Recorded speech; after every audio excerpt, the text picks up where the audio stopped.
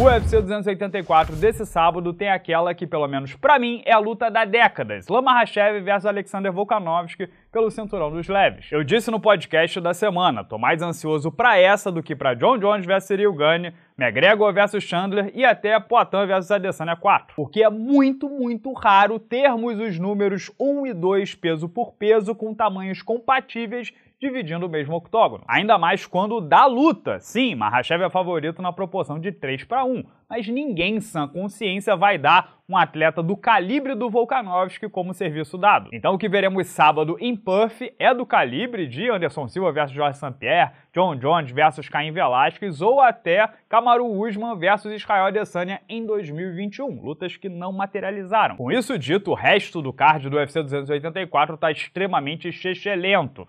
Beleza, Jack Della Madalena contra Randy Brown é um casamento divertidíssimo. A mesma coisa dá para dizer de Yair Rodrigues versus Josh Emmett, dois strikers muito bons disputando o cinturão interino dos penas. Mas em primeiro lugar, o title shot pro Pantera é dos mais estranhos dos últimos anos, um aceno claro pro público mexicano que vai receber o Instituto de Performance do UFC em setembro. É um ótimo lutador, mas que vem de uma vitória e uma derrota, sendo que essa vitória foi sobre o Brian Ortega graças a uma lesão não provocada por ele. A última vez que venceu de fato foi o Jeremy Stephens em 2019. O cara nem tá mais no UFC é title shot meio que na sorte. O Josh Emmett, beleza, vem de quatro vitórias, mas a última também foi extremamente contestável sobre o Calvin Qatar. É um duelo com carisma negativo e ninguém acredita muito em qualquer um dos dois contra o Volkanovski. O que quero dizer é, se o Mahashev ou Volkanovski tem um problema até sábado, esse evento vira um Fight Night mediano, não tem como vender em pay-per-view. O mais curioso é que, mesmo sabendo que o elenco escalado é finíssimo,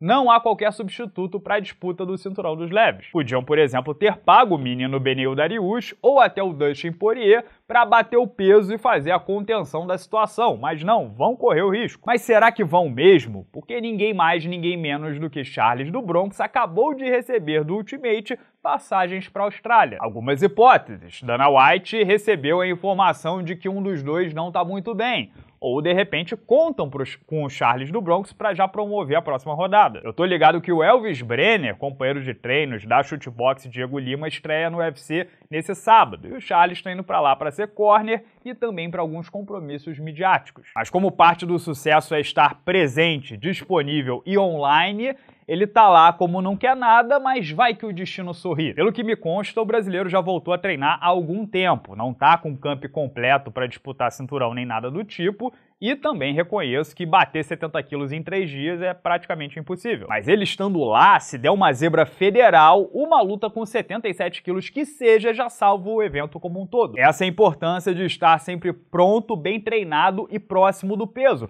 porque nunca se sabe quando boas oportunidades vão surgir. 2022 foi um ano em que pouquíssimas lutas principais caíram, mas a gente já teve anos em que todos os cards perderam as suas lutas principais originais, né? Vai que a Urucubaca volta. Com alguma sorte, a carreira do Charles pode mudar completamente de rumo já no próximo sábado. Vejam bem, o Mahashev já se retirou de três lutas no UFC, então não estamos falando sobre algo sem precedentes. Ah, Renato, se ele luta com Volkanovski com 77 quilos, como que a carreira dele muda? Ué, acabou de vencer o número 1 um peso por peso num pay-per-view. No mínimo, fura a fila e enfrenta o Mahashev na sequência. Tem a chance de se vingar. Isso se não conseguir bater os 70 quilos na raça e já cair na disputa de um cinturão interino.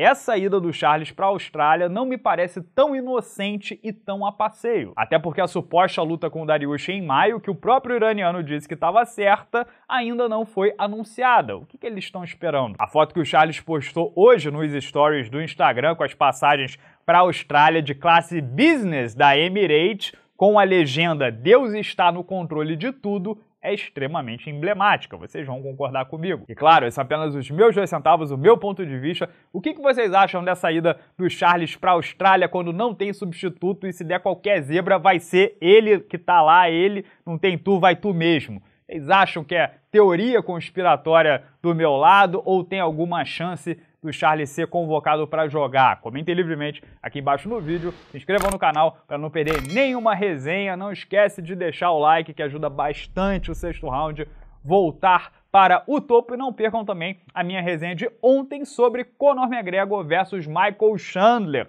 Essa luta fechou e eu já analiso como vai ser esse reality show e como vai ser o casamento um pouco depois. Para entender tudo, você clica aqui do lado e confere. Se você é membro do canal, nessa quinta-feira tem a live dos membros às 8 e 05 da noite. Eu e o Carrano vamos bater aquele papo de uma hora com os membros e sortear produtos ao vivo, como fizemos na última edição. Beleza? Grande abraço, obrigado pela presença de sempre e até amanhã.